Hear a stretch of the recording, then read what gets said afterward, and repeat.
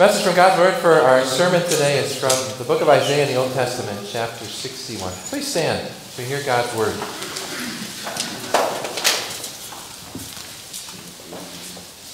The Spirit of the Sovereign Lord is on me, because the Lord has anointed me to proclaim good news to the poor.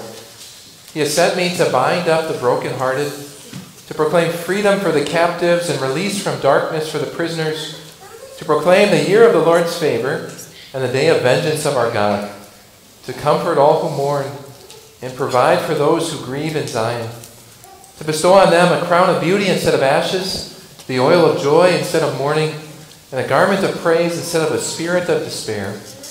They will be called oaks of righteousness, a planting of the Lord for the display of his splendor. This is God's word. You may be seated.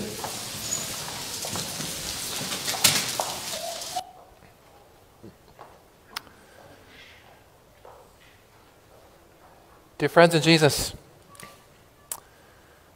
just like that, it's over. Sunday school children did a great job sharing the message of the Christmas story with us. There's a few of them here now. Can we thank them for their program today?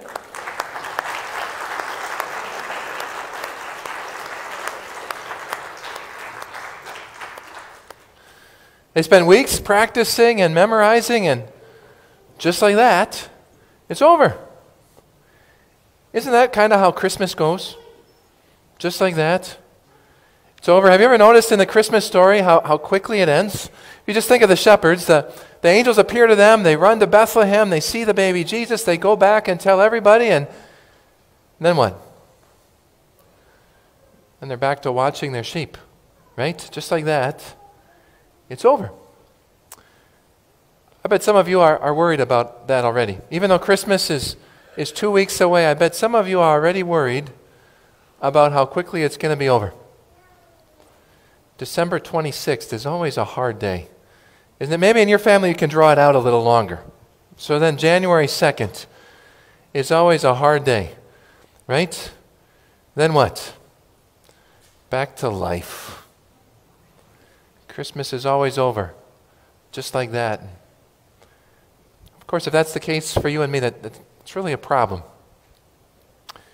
It's really a problem because God wants the message of Christmas to be something that lasts in our hearts, in our lives. If December 26 feels like this big letdown when all the best things have, have come to an end, then we're missing what Christmas is really all about. There's all these sentimental aspects of Christmas that are good things, but they don't last. The Christmas programs end, the relatives go home, the cookies all get eaten. The presents are all unwrapped. And then what? God wants us to have something more. He wants us to find something deeper at Christmas. He wants us to find something that's going to last throughout the whole year. And so we should listen to what Jesus says about it. The three little verses of our lesson today are words that Jesus spoke in the book of the prophet Isaiah. And it's really an amazing thing because did Jesus come on Christmas before or after the prophet Isaiah?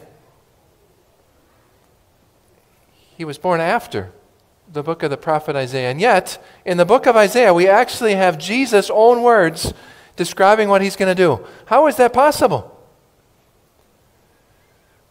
When was Jesus start? Well, he was born at Bethlehem at Christmas time, right? But when did Jesus start? He has no start. Right? Jesus is God, with God the Father and God the Holy Spirit, the Holy Trinity. When did God start? Forever. He has no beginning, He has no ending. And so, in these amazing verses, Jesus, 700 years before He was born on earth, Jesus, who has always existed as the true Son of God, Jesus tells us what He came to do because Jesus came, there's something we can hold in our hearts forever. Jesus starts like this The Lord has anointed me to proclaim good news to the poor. Because Jesus came, there is good news for the poor. Isn't that what all of us need? Good news. There's a fancy word in the Bible that means good news. Do you know what it is? The gospel. That's what our sermon next Sunday is going to be all about the gospel. So you have to come back. But here's a sneak peek. In the gospel, Jesus says what the kids told us today For God so loved the world that he sent his one and only Son, that whoever believes in him shall not perish but have eternal life. That's the good news Jesus came to proclaim. In a different place, he said, The Son of Man came to seek and to save what was lost. Luke 19, verse 10. That's, that's the good news Jesus proclaimed to the poor. So, are you poor? Are you sinful? Do you feel lost? Do you sometimes feel like you have nothing? Well, Jesus came to live and to die and to rise to save you. Whoever believes in Jesus shall be saved. Because Jesus came, there is good news for the poor. Do you think that ends on December 26th? No way. Here's the second thing that Jesus tells us He says, He has sent me to bind up the brokenhearted. Because Jesus came, there is hope for the brokenhearted. Is that you? The good news of Jesus is what heals our hearts. Sin breaks our hearts. Sin makes it feel like there's a piece of our heart over there and another piece over there and another piece over there, and there's no way we can bring it back together again. But Jesus can. Jesus takes that piece and he, he forgives all the sins. Jesus takes that piece and he heals the hurt. Jesus came to bind up the brokenhearted.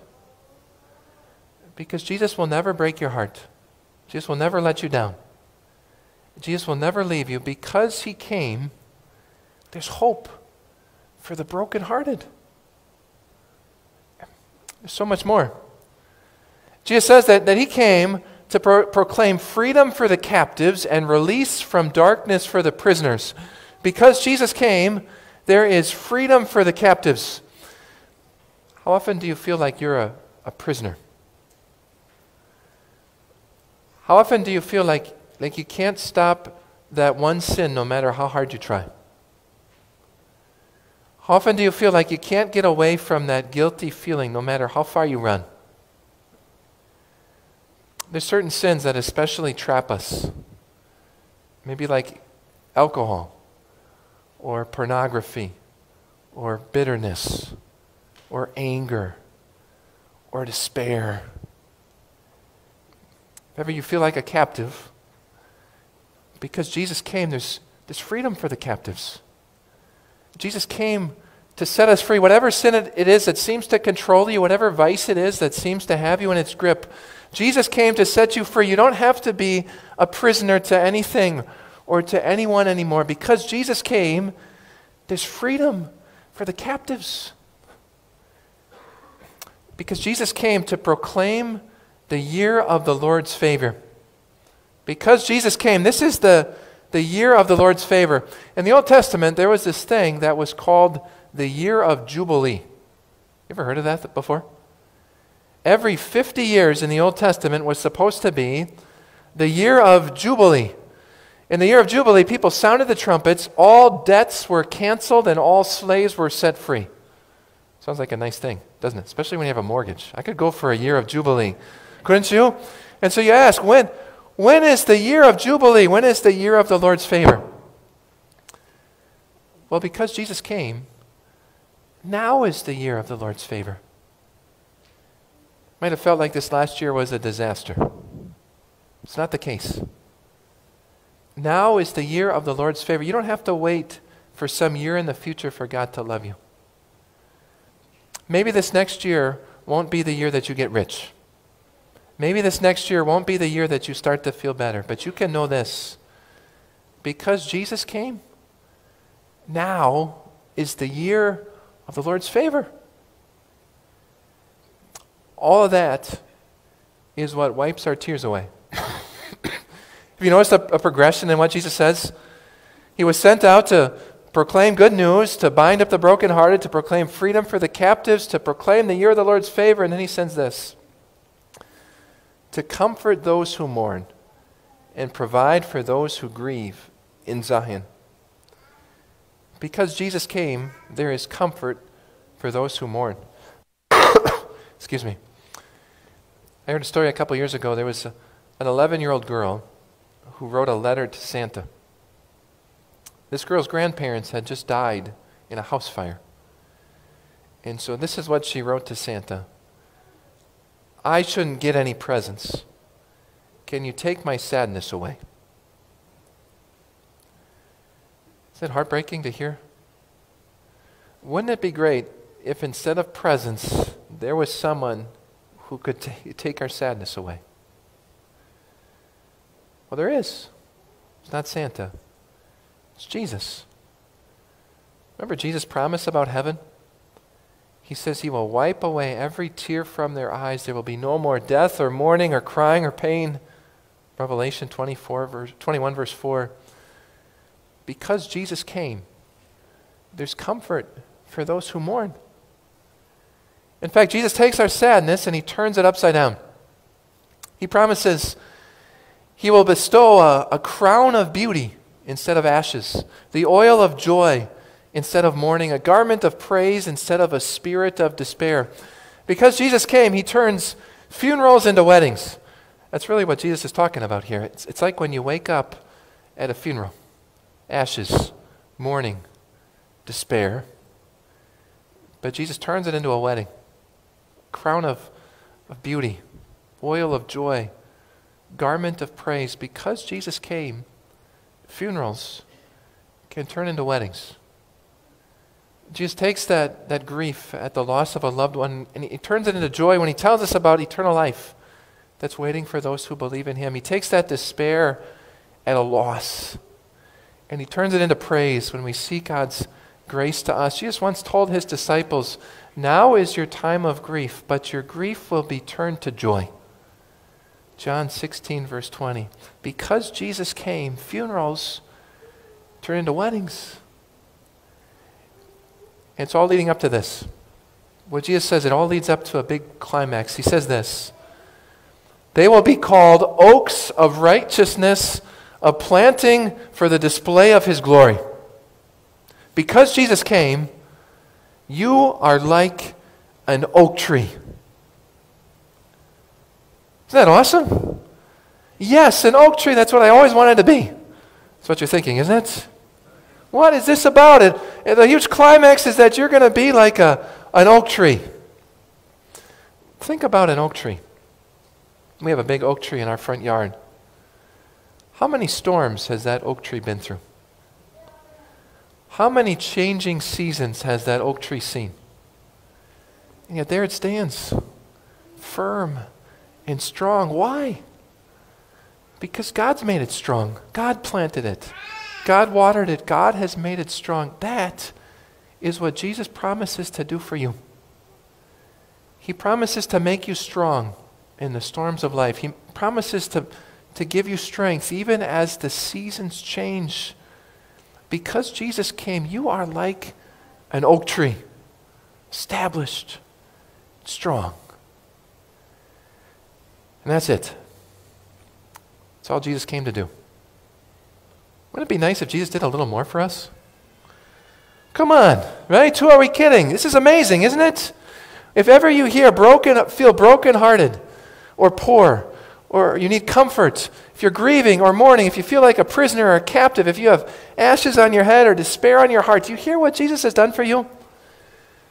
Jesus came to proclaim good news to the poor, to bind up the brokenhearted, to proclaim freedom for the captives and release from darkness for the prisoners, to proclaim the year of the Lord's favor, to comfort those who mourn, and to provide for those who grieve, to give a crown of beauty instead of ashes, the oil of joy instead of mourning, a, a garment of praise instead of a spirit of despair. This is what Jesus came to do for you and me. And it doesn't end on December 26th or January 2nd. It's, it's true for you today and tomorrow and forever. So, what's the catch? It's got to be a catch, right? You hear Jesus talk and you look for a little asterisk. Aren't we trained to look for those? To look for some fine print? Well, if you look at Jesus' words again, what conditions are there?